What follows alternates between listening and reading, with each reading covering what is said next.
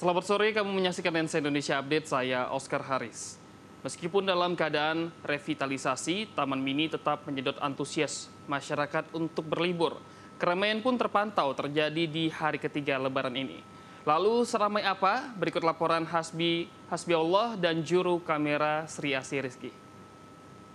Oke, sahabat RTV, kali ini nih saya lagi main sama Edo, salah satu kakak tua raja yang ada di Taman Burung, Taman Mini Indonesia Indah. Nah, memang banyak sekali nih masyarakat yang ingin mengedukasi keluarga mereka, mendatangkan keluarganya ke Taman Burung dan juga ke tempat-tempat lain ataupun anjungan yang ada di Taman Mini.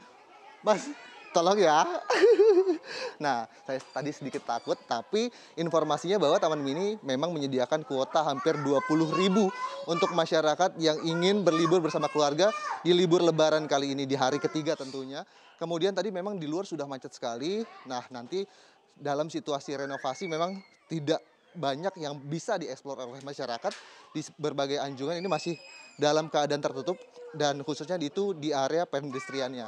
Nah, nantinya untuk masyarakat memang tidak ada syarat tertentu karena tiket pun dijual secara langsung, tidak online seperti di Ragunan maupun di Ancol. Jadi bagi Anda yang ingin datang langsung ke Taman Mini Indonesia Indah bisa datang langsung dan juga nantinya dengan tiket yang terbatas hampir 20 ribu tadi. Dari Jakarta, Hasbi Allah, Sri Asi, Rizky, RTV. Ya, demikian Lensa Indonesia Update kali ini. Kami kembali mengajak kamu untuk selalu menerapkan protokol kesehatan, caranya gunakan masker dengan benar, selalu menjaga jarak, dan pastinya jangan lupa cuci tangan dengan sabun di air mengalir. Saya Oscar Haris, sampai jumpa.